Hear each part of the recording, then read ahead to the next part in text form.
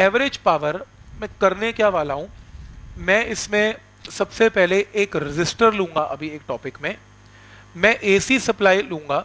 E is equal to E naught into sine of omega T मुझे पता है कि रजिस्टर में करंट क्या होगा? I naught sine of omega T क्योंकि फ़ेज़ डिफरेंस वोल्टेज और करंट का ज़ीरो होता है इन केस ऑफ़ रजिस्टर यही वैल्यूज़ होती हैं। तो मेरे को पता है कि मैंने ई e, ई e की वैल्यू इसमें ये अप्लाई की और ई e हर इंस्टेंट पर अपनी वैल्यू को क्या कर रहा है?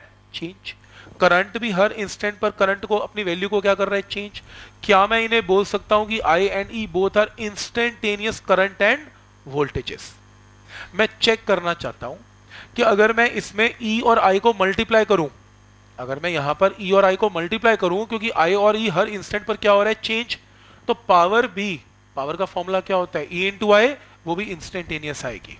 क्योंकि अगर मैं इन दोनों को मल्टीप्लाई करता हूँ, हर इंस्टेंट पर पावर अपनी वैल्यू को क्या करेगी?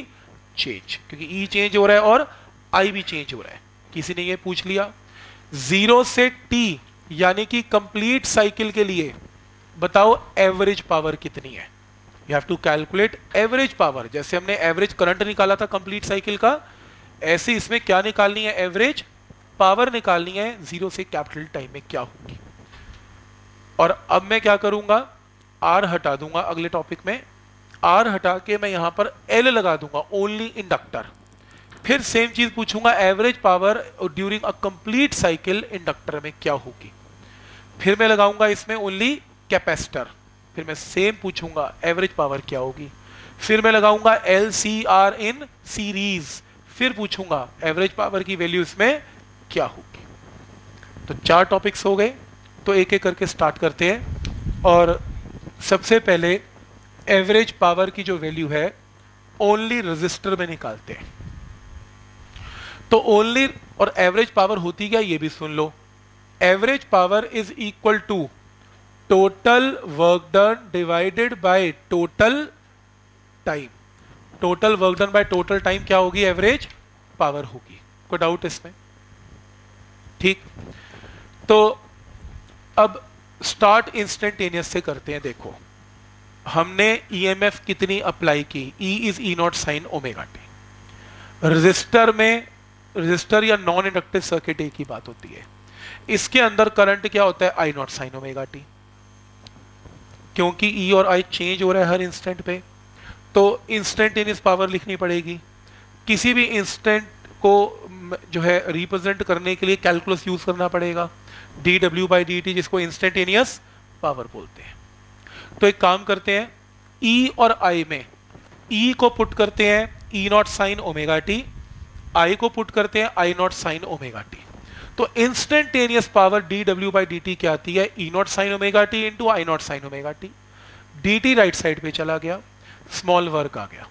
पर मेरे को एवरेज पावर के लिए क्या चाहिए? टोटल वर्क डन और कितनी देर के लिए ज़ीरो से टी के लिए? तो टोटल वर्क डन के लिए दोनों साइड्स की इंटीग्रेशन ज़ीरो से टी डब्ल्यू ज़ीरो से टी टोटल वर्क डन आ गया. ई नॉट आई नॉट बाहर आ गया. साइन स्क्वायर की इंटीग्रेशन आ गई.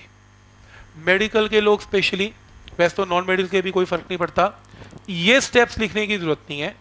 सीधा हमने याद किया था. साइन स्क्वायर की इंटीग्रेशन पहले लेक्चर में क्या की थी? साइन स्क्वायर की इंटीग्रेशन ज़ीरो से टी तक क्या होगी? T by two.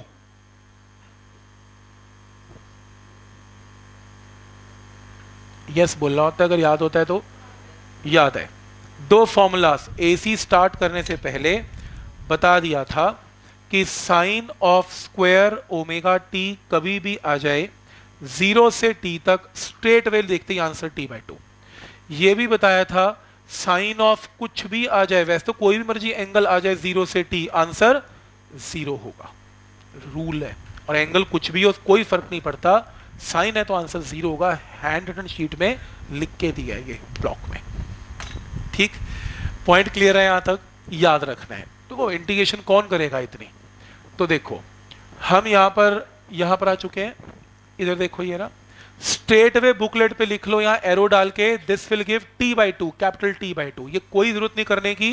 Straight way लिखो यहाँ पर कैपिटल टी बाई टू सीधा ये स्टेप बचते हैं तो सीधा आंसर क्या आएगा? T by two done clear है यहाँ तक? टी नीचे आ गया। Total work done by total time क्या होगा? एवरेज पावर तो एवरेज पावर क्या आ गई?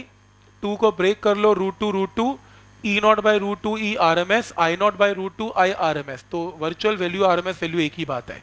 तो बॉक्स में आप ये फॉर्मूला नोट कर सकते हो।